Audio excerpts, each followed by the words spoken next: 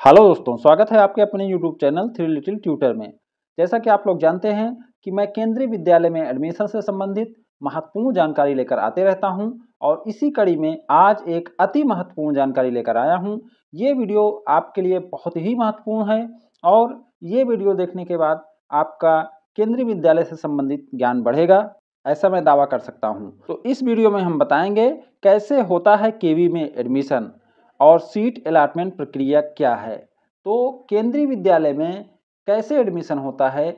उसमें seat allot कैसे होती है? ये हम आपको बताएँगे। तो अभी फॉर्म नहीं आए हैं, लेकिन आपके लिए पहले से ये समझना फ़ायदेमंद है कि केंद्रीय विद्यालय में किसी बच्चे को सीट कैसे मिलती है। तो इस वीडियो में मैं स्टेप बाय स्टेप उसी चीज़ को बताया हूँ और समझाया हूँ। आपको ये वीडियो बड़े संयम से, बड़े धैर्य से देखना होगा, तभी पूरी प्रक्रिया आपको समझ में आएगा। वीडियो को कहीं स्किप मत करिएगा और हमारे चैनल को सब्सक्राइब भी करिएगा, क्योंकि आप बहुत सारे लोग वीडियोस देखते तो हैं, लेकिन सब्सक्राइब नहीं करते। जैसा कि मैं बार बार बोलते रहता हूँ, हम अपने सभी सब्सक्राइबर के सभी कमेंट का जवाब देते हैं, इसलिए आप हमारे चैनल को सब्सक्राइब करके रखें और आपके मन में अगर कोई प्रश्न आता है तो हमें कमेंट करें, हम आपके कमेंट का जवाब देंगे। तो चलिए वीडियो स्टार्ट करते हैं और देखते हैं कि किसी बच्चे को केंद्रीय विद्यालय में सीट कैसे मिलती है? कैसे होता है केवी में एडमिशन? केंद्रीय विद्यालय में आपके बच्चे का एडमिशन किस प्रकार होता है? इस वीडियो में हम पूरी सीट अलाटमेंट प्रक्रिया को समझेंगे। ये वीडियो देखने के बाद आप खुद अनुमान लगा पाएँगे कि आपके बच्चे के एडमिशन के कितने चांस हैं। उदाहरण में हम कोई ऐसा केंद्रीय विद्यालय लेंगे जिसमें चार section A B C D है और प्रत्येक सेक्शन में 40 सीट है। तो इस तरह उस केवी में कुल 160 सीट हुई। तो आज हम इस वीडियो में 160 सीट को खाली मानकर सीट अलाटमेंट प्रक्रिया समझेंगे। तो हम कोई एक केंद्रीय विद्यालय ले रहे हैं, जिसमें 160 सीट है एंट्री लेवल के लिए। वह एंट्री लेवल क्लास वन भी हो सकता है बाल वाटिका भी हो सकता है। और उसी को समझेंगे कि कैसे एक बच्चे को सीट मिलती है, एस वाले को कितनी सीट मिलती है एसटी को कैसे मिलती है ओबीसी को क्या मिलता है, जर्नल वाले को क्या मिलता है, केंद्रीय कर्मचारी को क्या मिलता है राज्य कर्मचारी को क्या मिलता है? जो नौकरी में नहीं है, उनको कैसे मिलती है सीट? इसमें पूरे चीज़ को एक साथ शामिल किया हूँ। बड़ी मेहनत लगती है इसको बनाने में। बहुत ही सावधानी से इसे बनाना पड़ता है। इसलिए आप इसे लाइक ज़रूर करिएगा, हमारे चैनल को सब्सक्राइब ज़रूर करिएगा। तो चलिए वीडियो स्टार्ट करते हैं। सीट अलाटमेंट प्रक्रिया आसान भाषा में। तो यहाँ आप देख सकते हैं लॉटरी नंबर है। जर्नल ईडब्ल्यूएस और बीपीएल को एक साथ रखा हूँ। ओबीसी एनसीएल को एक साथ। शेड्यूल कास्ट को एक, शेड्यूल ट्राइब को एक और टोटल फिर एक साथ है। तो यहाँ मैं कारण भी बता देता हूँ आपको कि जर्नल ईडब्ल्यूएस और बीपीएल को एक साथ इसलिए रखा हूँ कि जो ईडब्ल्यूएस और बीपीएल होता है वो कोई हो सकता है और ओबीसी हो सकता है जर्नल हो सकता है एससी हो सकता है एसटी हो सकता है, कोई भी हो सकता है। और जर्नल तो जर्नल है ही इसलिए इन तीनों को एक साथ रखा हूँ और ऐसे ही रखा जाता है इन्हें। और बाकी लोग को उनके कोटे के अनुसार सीट दिया गया है इसमें। जैसे ओबीसी को 27 परसेंट के हिसाब से 44 सीट और शेड्यूल कास्ट को 15 परसेंट के हिसाब से 24 सीट और शेड्यूल ट्राइब को साढ़े सात परसेंट के हिसाब से 12 सीट। और जो बची हुई सीट है 80 सीट, टोटल 160 सीट। तो इतनी सीट हैं जिन्हें मैंने उनके रिजर्वेशन के अनुसार बांट दिया है। अब बाकी जो कोटा हैं, वह लॉटरी वाइज होते हैं, इसलिए बाकी कोटा यहाँ नहीं दिखाया हूँ। जैसे कि पीडब्ल्यू कोटा एसजीसी कोटा या आर कोटा, वह लाटरी के थ्रू आएगा। आप अभी आगे देखेंगे तो अच्छे से समझ में आएगा। तो सबसे पहले हम देखेंगे पहली लॉटरी। जो पहली लॉटरी होती है, वह होती है आरटी कोटा का। तो आरटी कोटा के तहत 25 परसेंट सीट भरना रहता है तो 160 सीट में 40 सीट इसी के थ्रू भरना है। तो हम यहाँ मान लिए हैं कि आरटी कोटा के तहत 15 लोग जर्नल ईडब्ल्यू या बीपीएल से आ जाते हैं 12 लोग ओबीसी एनसीएल से आते हैं 8 लोग शेड्यूल कास्ट से आते हैं और पाँच लोग शेड्यूल ट्राइब कास्ट से आते हैं और चालीस की पूरी सीट भर जाती है। तो यहाँ ये भी जान लेना ज़रूरी है कि ये सीट खाली नहीं रहती ये भर ही जाती है और पहली लॉटरी में ही भर जाती है। जो सबसे पहली लॉटरी होती है वो आर कोटा की लॉटरी होती है। अब हम देखेंगे कि आरटी कोटा के बाद कितनी सीट बची। तो जनरल ई डब्ल्यू एस में पैंसठ सीट ओबीसी एनसीएल में बत्तीस एससी में 16, एसटी में सात टोटल 120 सीट बची। अब होगी सेकंड लॉटरी जो होती है पीडब्ल्यूडी यानी दिव्यांग के लिए।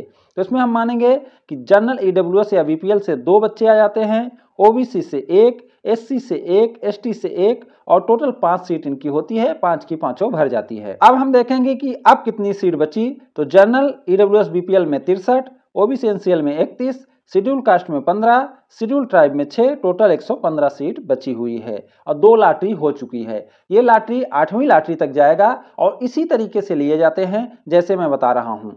इसको आप ध्यान से देखेंगे तो आपको समझ में आते रहेगा। अब होगी थर्ड लाटरी।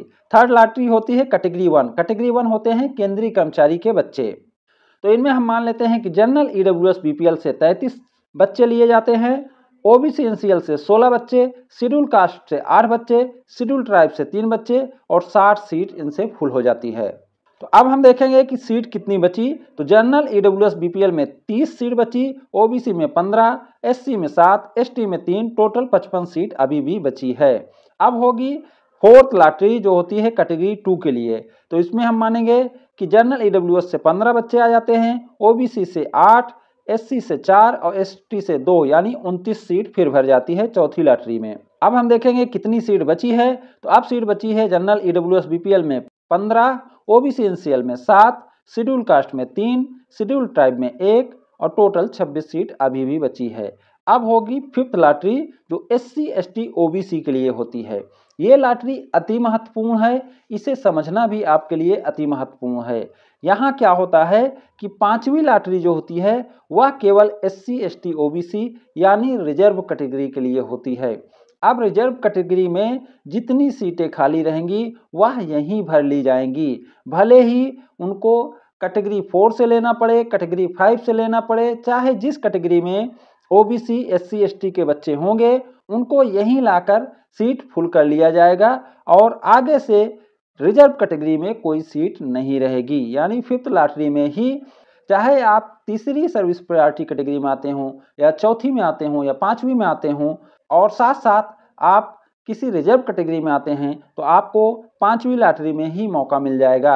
अगर पाँचवीं लॉटरी में आपको मौका नहीं मिलता है तो आगे फिर आपको S C S T O B C का कोई फ़ायदा नहीं मिलने वाला है, फिर आप जर्नल में ही ट्रीट किए जाओगे, क्योंकि S C S T O B C की सीट पाँचवीं लाटरी में ही फिल हो जाती है, कंप्लीट कर ली जाती है। तो यहाँ मानेंगे कि general E W S B P L से कोई नहीं आएगा, क्योंकि ये जनरल के लिए सीट नहीं है। O B C N C L से सात थे तो सातों भर जाएँगी।